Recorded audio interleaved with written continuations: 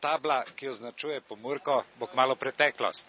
Danes so bili razdeljeni zadnji paketi spornega zmrženega mesa, ki ga A-banka nekako predala v roke delavcem, ki ga počasi vozijo domov. Kaj si mislijo o tem, pa si pogledajte v našem prispevku. Sicer se smejite, ampak Ja, pa kaj, žalostno, koliko drugih povem. To je žalostno. Za en tres let delam dobe, ko sem tudi to žalostno.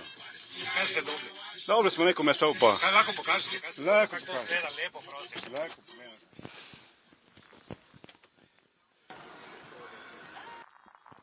Evo, tole je vse eno, te vidite. To se pravi, to je vaš izkupiček za Ja. 21 let dela. Tako je. In ste zadovoljni s tem, ne? Kako bi, ko naj, ko naj. Ne me nič, koliko delam. Pa se vam ne zdi, da je to malo Seveda je, kaj je to, to je sramota. več kot sramota. Več. In kaj boste zdaj? Pa Nič. koga boste porabili? Ko bo se dalo praviti, ko pa ne bo v pes pojedel, ne. Za 50 Ja, ko bo pa v drugi komu cistoki, či koliko. Ne, saj ne vem, ko je notri, ne. Zakaj ste pa pol vzeli? Zeli. Pa kaj sploh niste vedeli, kaj ste dobili?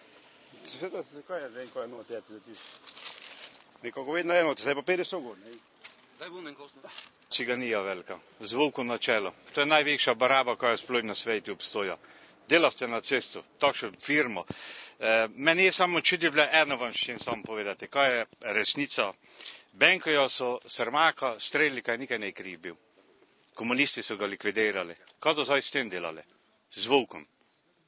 Ne vem, tega treba likvidirati, ne? Drugo si ne zasluži. Ovoga srm... Ni malo groba ocena. Ne, ne, ne, ne, ne, to je realno. Realno je to vse. Se videli, kako gledate ti tajkune, kaj ne delajo. Ve pa to je ne zapovedati, ve pa Slovenijo uničijo. Kriva je pa vlada.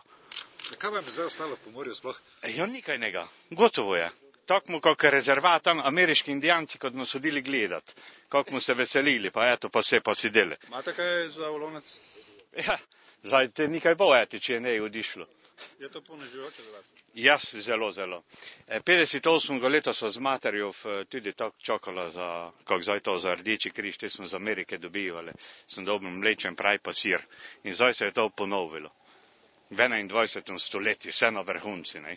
Kako bi ocenili to zadnje dnevno dogajanje v pomorki?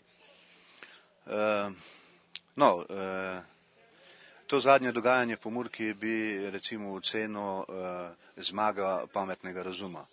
Eh, Če bi se to zgodilo že prej, eh, bi seveda stanje tega mesa bilo drugačno ali pa še boljše. Eh, Ne glede na to, je to meso užitno, za strani Bursa pregledano inšpektorjev, da se lahko razdeli eh, med ljudi.